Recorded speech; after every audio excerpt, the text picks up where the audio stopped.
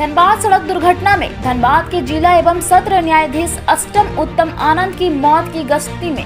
धनबाद के रणधीर वर्मा चौक पर फोरेंसिक और